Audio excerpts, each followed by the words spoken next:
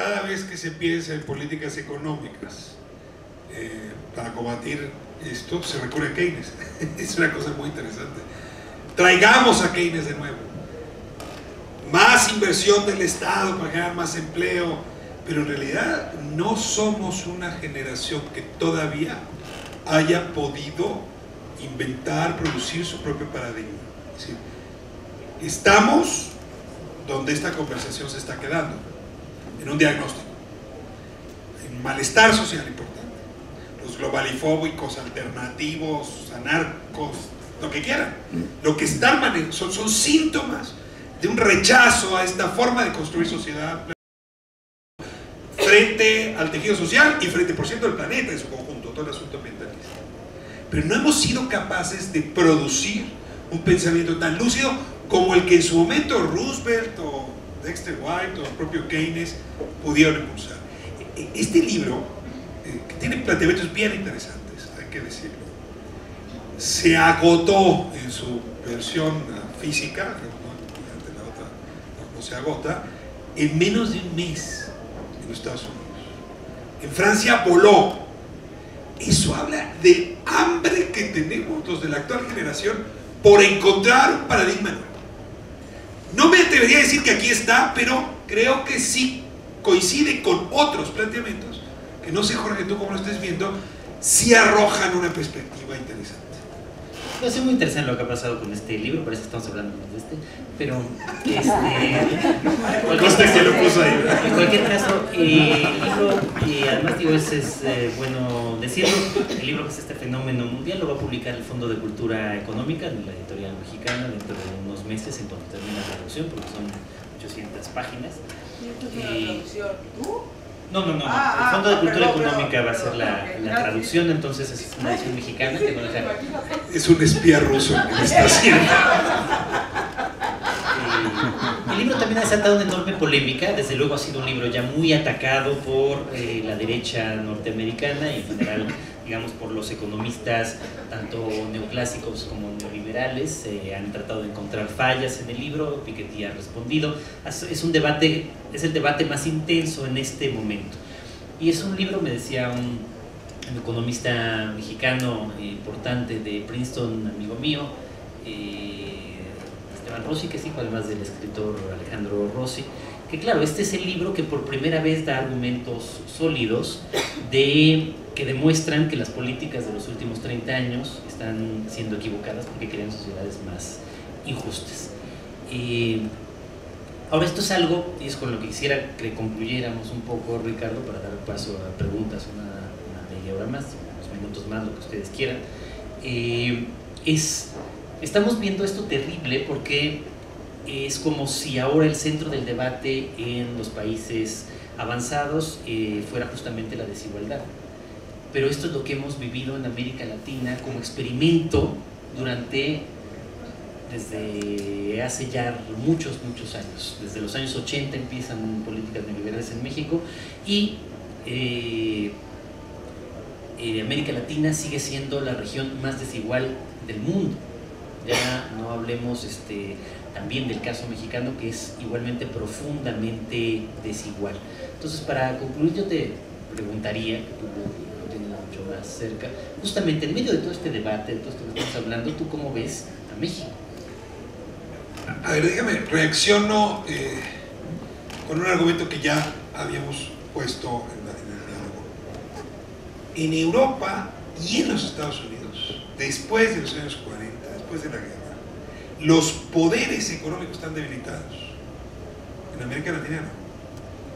En América Latina los poderes económicos se fortalecieron porque ellos fueron los surtidores de materias primas, justamente los Estados Unidos y los europeos.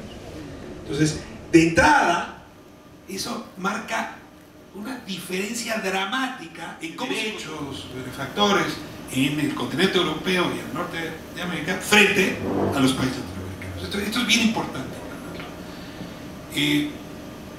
al punto donde hoy, si revisan las cifras, se van a dar cuenta que la desigualdad en el ingreso entre los suecos y los mexicanos es idéntica. Se mide con un indicador que se llama Gini. si el Gini es a todos son exactamente iguales. Si es uno, uno solo tendría toda la riqueza. Bueno, el Gini de Suecia es de 4. De, de, perdón, de punto 47. El Gini de México es de punto 47. Podemos estar felices. Sí, nada más que luego el Estado sueco va y cobra impuestos, gasta y entonces el Gini se modifica y entonces es una sociedad muy justa. Al punto donde Suecia andará después de gasto impuestos en un Gini de 0.22. Bueno, con la novedad que en América Latina, en particular en México, el Gini es idéntico antes y después del Estado. Es decir, somos el modelo ideal de Hayek. Somos el modelo perfecto de los neoconservadores.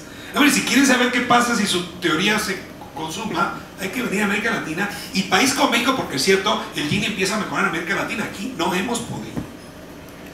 Ahora, no quiero dejar una mala nota, pero sí dejo dos últimas reflexiones. Una,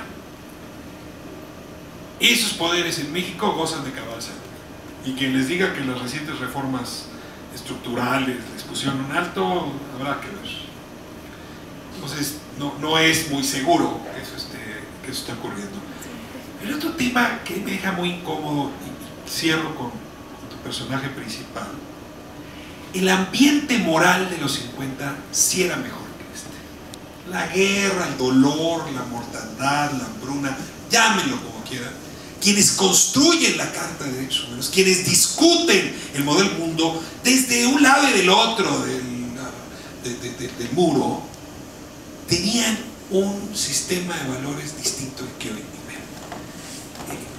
Jorge describe muy bien el ambiente moral de nuestra época y yo no creo que ese ambiente moral sea capaz de combatir este capitalismo salvaje que estamos viendo. Y digo, con esto concluyo para darles este, a ustedes la, la, palabra. Yo creo que el gran triunfo de ese modelo neoconservador neoliberal es esencialmente moral. Eh, es sobre cómo nos vemos unos a otros en la sociedad.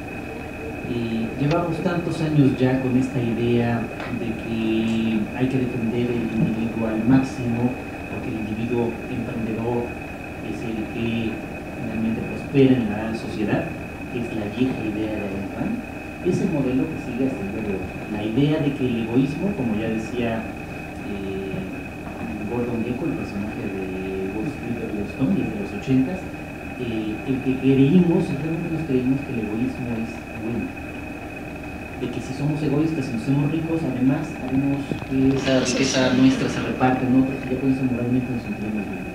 El segundo triunfo es que despolitizaron a las sociedades. Sociedades que eran muy politizadas durante todos los años posteriores a la Segunda Guerra Mundial, realmente había grandes reivindicaciones de los grupos, sobre todo asociados con la izquierda de cada uno de los países. Se nos hizo pensar y nos acabamos por creer que esos grupos siempre son revoltosos, corruptos, eh, radicales, con los que no se puede dialogar. Y por el otro lado, la política además nos parece que siempre es tan corrupta que no hay que hacerle caso, con lo cual simplemente hay que hacer las recetas económicas que ellos nos dicen porque son técnicas.